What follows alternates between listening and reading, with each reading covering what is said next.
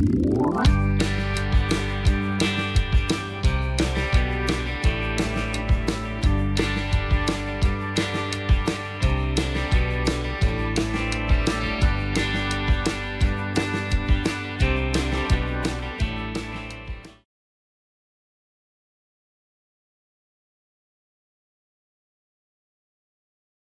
Vamos a continuar con la resolución de inecuaciones irracionales. En este caso tenemos una raíz cuadrada de 2 menos x mayor que x. Para la resolución de esta desigualdad eh, tenemos las siguientes condiciones. Si yo tengo una raíz cuadrada de, de a que sea mayor que b, esto se resuelve si y solo si cumple las siguientes eh, condiciones. La primera condición es que si B, es decir, este miembro que está a la derecha, que no tiene la raíz, es menor que cero, menor que cero, entonces se debe cumplir también o bastaría eh, demostrar que la validez de esta raíz, es decir, la validez de dominio, sería A mayor o igual que cero. En este caso es cuando esta cantidad sea eh, negativa a esto tenemos O si B es mayor o igual que 0, entonces podemos darle la resolución a la desigualdad completa. Entonces en este caso tendría A mayor que B al cuadrado. En este caso es cuando eh, tomamos toda la desigualdad y la elevamos al cuadrado de tal manera que se elimine esta raíz, me queda solamente a y obviamente si aplico cuadrados a ambos lados pues el miembro de la derecha me quedará al cuadrado. A esta primera condición eh, la llamaremos caso 1 y a esta eh, condición caso número 2. Este y que aparece acá lo que nos dice que de estas dos desigualdades deben cumplirse simultáneamente, al igual que en el caso número 2. Eh, Por lo tanto, el conjunto solución va a ser igual a la solución 1 unida con la solución 2. Eh, Entonces vamos a hallar cada una de estas soluciones eh, por separado y al final las vamos a unir. Para el caso 1 tenemos la primera condición que B, que en este caso es mm, X, tiene que ser menor que 0 y la, eh, lo que está en la cantidad subradical, es decir, 2 menos x, debe ser mayor o igual 0. Entonces si reemplazamos esta b por eh, x, entonces tendría x menor que 0 y a, que en este caso es 2 menos x, debe ser mayor o igual que 0. En este caso ya esta primera condición ya está lista. Vamos a despejar x en la segunda condición. Por lo tanto, para quitar este menos x de acá, pues sumo x a ambos lados de la desigualdad. Por lo tanto, menos x más x, esto se simplifica, aquí me quedaría 2, y mayor o igual que 0 más x es x. O lo que es lo mismo, x menor o igual que 2. Eh, como aquí aparece la condición y, entonces vamos a transformar estas dos desigualdades a intervalos. Aquí nos dicen que son todos los números que son menores que 0. Por lo tanto, si transformamos a intervalos, sería desde el intervalo formado desde menos infinito hasta 0 eh, abierto. Abierto porque aquí aparece menor eh, este. Este i se va a transformar en intersección y aquí serían todos los números que son menores o iguales que menos 2. Por lo tanto, el intervalo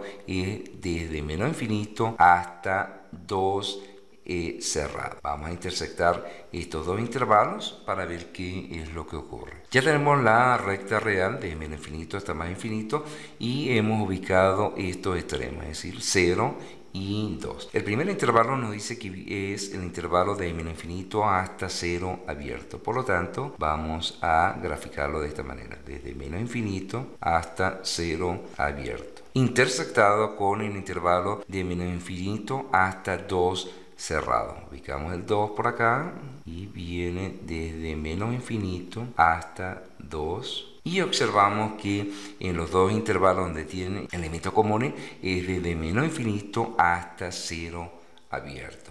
Por lo tanto, la solución 1 va a ser igual desde menos infinito hasta 0 abierto. Ahora vamos a desarrollar el caso número 2. Nos dice que la condición es que b mayor o igual que 0 y a y mayor que b al cuadrado. Recordemos que b es x, por lo tanto si reemplazamos acá va a quedar x es mayor o igual que 0 y en este caso a es la cantidad subradical que es 2 menos x mayor que b que es x al Aquí ya está despejado, por lo tanto vamos a enfocarnos en esta condición. y vamos a quitar este, estos dos términos del miembro de la izquierda. Por lo tanto, si yo los quito, tendría que restarle 2 y sumar 1 para que esto se elimine. Como yo he agregado esto al miembro de la izquierda, lo vamos a agregar al miembro de la derecha. Por lo tanto, coloco menos 2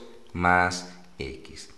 Si resolvemos esto, esto me quedaría, se va a anular, esto se va a anular y me va a quedar 0 signo de la desigualdad mayor y en la derecha me quedaría x cuadrado eh, aquí vamos a reordenar eh, más x menos 2. Esto claramente es una ecuación de segundo grado. Si yo reordeno esto para verlo un, poco mejor, mm, sería x cuadrado más x menos 2 menor que 0.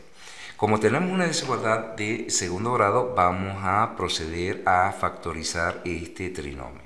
Vamos a factorizar este trinomio utilizando el método de factor común. Para ello tenemos que hacer varias cosas acá. En primer lugar eh, vamos a reescribir el trinomio, es decir, lo vamos a reescribir como x cuadrado más x menos 2 por 1 menor que 0. Aquí lo que he hecho es simplemente agregarle el elemento neutro de la multiplicación. ¿Con qué fin? Para estos dos números me van a permitir o me van a indicar la forma como voy a descomponer el segundo término. De tal manera que voy a tener x cuadrado. Este segundo término lo puedo descomponer como 2x menos 1x. Yo lo voy a escribir de esta forma. Menos x más 2x menos 2 por 1. Eh, aquí realmente lo que he hecho es que si ustedes observan aquí 2x menos 1x me sigue dando eh, x acá. O sea, realmente lo que he descompuesto es el segundo término. ¿Con qué fin? Para yo poder eh, factorizar por pareja. Es decir, voy a factorizar estos dos términos y vamos a factorizar estos dos que están acá. En estos dos términos nos damos cuenta que el factor común es x, porque este x cuadrado sería x por x, de tal manera que sacamos ese factor común x. De tal manera que este x por x, em, como ya sacamos una x, pues me va a quedar solamente x. Como ya sacamos esta x como factor común, pues entonces nos va a quedar solamente menos 1. De todas maneras podemos verificar multiplicando x por x, x al cuadrado, x por menos 1 me queda menos x. Más, en este caso nos damos cuenta que el factor común aquí es el número 2. Por lo tanto, lo sacamos fuera del paréntesis y no, eh, nos va a quedar en el paréntesis. Eh, aquí sacamos el 2, nos quedó solamente x.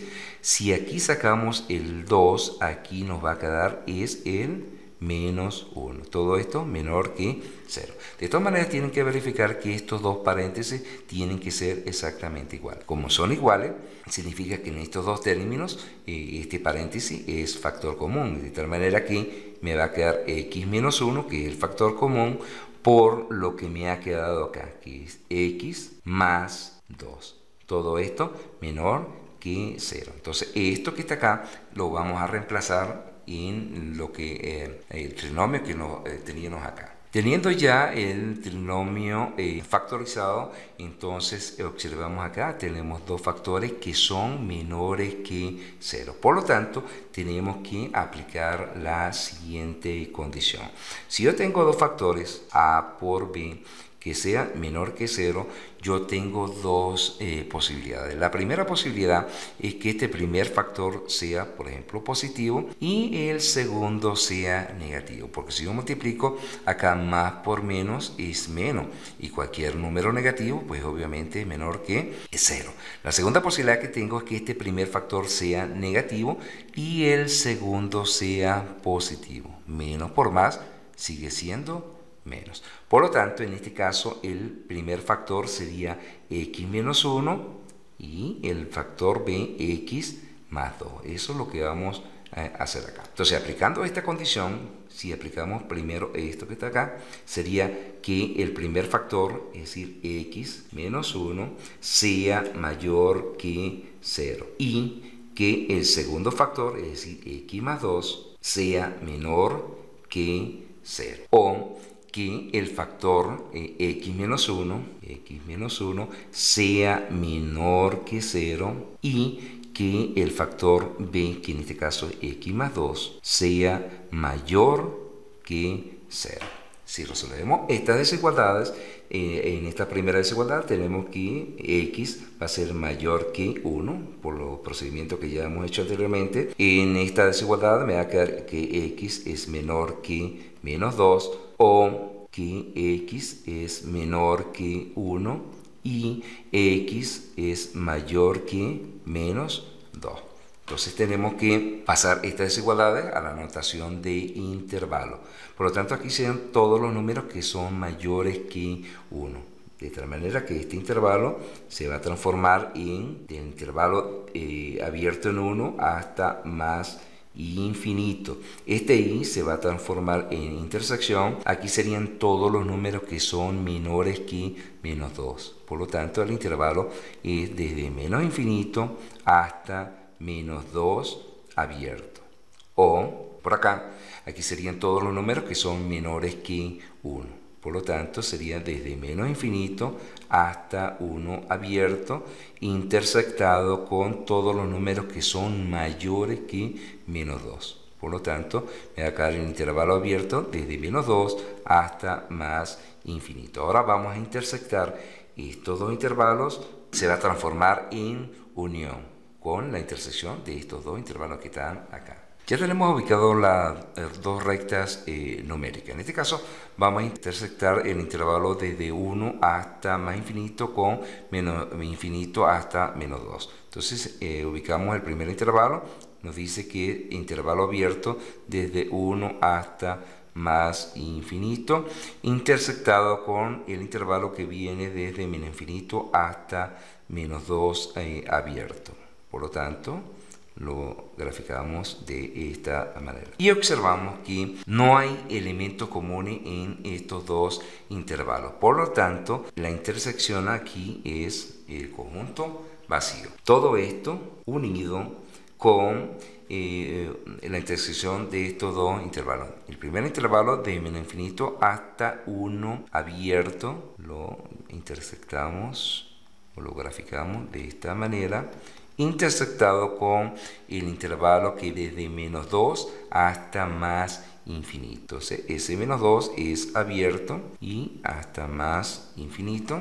Y nos damos cuenta que en los dos intervalos los elementos que tienen común o se han intersectado es desde menos 2 abierto hasta 1 abierto. Por lo tanto, aquí me va a quedar el intervalo menos 2 abierto hasta 1 abierto. Aquí la unión del eh, conjunto vacío con el intervalo eh, abierto menos 2, 1, eh, pues simplemente nos va a quedar en el intervalo abierto menos 2, 1. Pero recordemos que la solución del caso 2 viene desde acá. Aquí todavía tenemos, todo lo que hemos hecho es esta condición. Pero recordemos que aquí tenemos esta condición que es cuando x es mayor o igual que 0. Por lo tanto, tenemos que tomarla en consideración. Voy a eh, construir una línea eh, hacia abajo para que veamos mejor eh, el seguimiento del problema. Ese x mayor o igual que 0 pues se transforma en el intervalo desde 0 hasta más infinito. Pero recordemos que, vamos a regresar un poco, tiene que estar intersectado. Estas dos condiciones tienen que estar intersectadas. Por lo tanto, como están intersectados, entonces lo tenemos que hacer de esta manera, intersectados con la solución que viene del caso de la segunda condición, de menos 2 hasta 1, es decir, el intervalo abierto de menos 2 hasta 1. Ya tenemos la recta numérica y hemos ubicado estos extremos que están acá. Y vamos a intersectar estos dos intervalos. El primer intervalo dice que va desde 0, cerrado en 0, hasta más infinito. Coloquemos esto que está acá para no equivocarnos. Desde 0, cerrado, hasta más infinito. Por lo tanto, lo hacemos de esta forma. Y el segundo intervalo, eh, intervalo abierto, abierto en 2, hasta 1 abierto. Entonces, tenemos esto que está acá y donde hay intersección es desde 0 hasta 1.